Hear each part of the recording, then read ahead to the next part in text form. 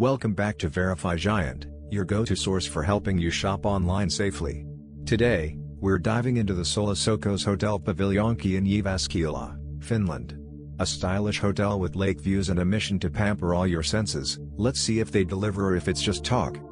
First, let's check out a negative review, the staff were nice, but my room had a strange odor and the air conditioning didn't work. Yikes. That's a big no-no, like trying to enjoy a 5-star meal at a gas station. On the flip side, another guest said, the location is fantastic, right next to the train station, and the breakfast was amazing, lots of options. Breakfast, the only meal where it's socially acceptable to eat chocolate croissants while wearing pajamas. Now, let's break down the hotel.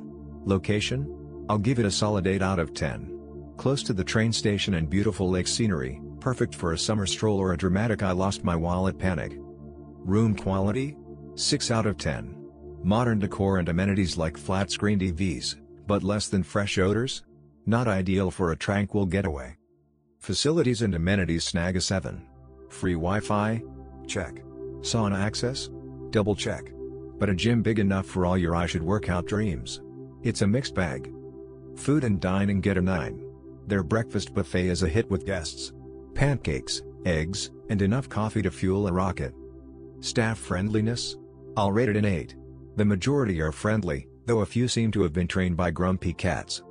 Now, for the final score, location, 8, plus room quality, 6, plus facilities, 7, plus food, 9, plus staff, 8, gives us a total of 38 out of 50.